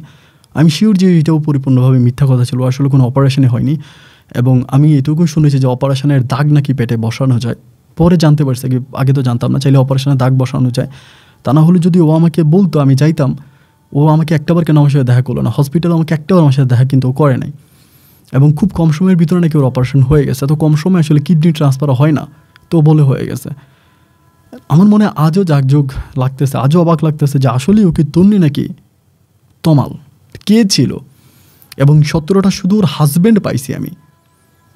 বাকিগুলো সবগুলোই ওর মানে বয়ফ্রেন্ড কার সাথে দুই দিন, চার দিন, পাঁচ দিন প্রেম করতো, টাকা নিত, এগুলোই। তো ভাই, আমি ওর দুটো ছবি আপনাকে পাঠাইছি, ওর ছবি এখনও আমার কাছে আছে। এবং ওর সাথে যে আমার কথাবার্তা হইতো মেসেঞ্জার স্ক্রিনশটগুলো এখনও আছে, সেগুলো আপনাকে দিলাম, আপনি যাচাই বাছাই করতে পারেন। ওর যে ফোন নাম্বারটা ব্যবহার করতো, সেটাও আমি দিলাম, আপনাকে যদি নাম্বারটা এখন বন্ধ, দীর্ঘ অনেক বছর ধরেই বন্ধ। তো আপন ভাই, আপনি মানুষকে সাবধান করেন, মানুষের জীবনের গল্প পড়েন, ভালো লাগে। সুদূর ইতালি থেকে আপনার গল্প আমি সবসময় শুনি। তো আজকে আমার গল্পটা আমি আপনাকে বললাম এবং আমি আপনাকে অনুরোধ করব যে আপনি গল্পটা প্রচার করবেন। কারণ এরকম ঘটনা বাংলাদেশে অহরহর ঘটে। আমাদের নোয়াখালী, কুমিল্লার বা বিভিন্ন ডিস্ট্রিক্টের মমসোনাল সিটিতে থাকা, ছোট শহরে থাকা ছেলেগুলো এরকম প্রতারণার ফাঁদে পড়ে এবং তারা এরকম প্রতারণার ফাঁদে পা দেয় তো যিনি শুনে যদি ভাইয়া, আপনি মানে যারা গল্পটা শুনে তাদেরকে অনুরোধ করবেন, তাদেরকে বলবেন তারা যেন অন্তত একটু ভেবে চিন্তে কাজ করে, এভাবে অচেনা অজানা কারোর সাথে হুটহাট করে সম্পর্কে জড়িয়ে না যায়। আমি অবশ্যই এইভাবে সম্পর্কে জড়াইতাম না, আমি জড়াইছি শুধু একটা মাত্র কারণে ছিল যে সাথীর কারণে পাগল হয়ে গেছিলাম। এবং সাথীকে হারিয়ে পাগল হয়ে যাওয়ার কারণে মেয়েটা আমার সুযোগটা নিতে পারছে, তা না হলে কিন্তু আমি অতটা সহজ সরল না, আমি অবশ্যই জাস্টিফাই করতাম, কিন্তু করার সুযোগটা পাই নাই। তো আপনার গল্পটা আপনি অবশ্যই প্রচার করুন এবং মানুষকে সাবধান করার চেষ্টা করবেন। ভালো থাকবেন ভাইয়া, এটা আমার ফোন নাম্বার, ইমো, হোয়াটসঅ্যাপ আছে চালিয়ে আমার সাথে যোগাযোগ করতে পারেন। আসসালামু আলাইকুম।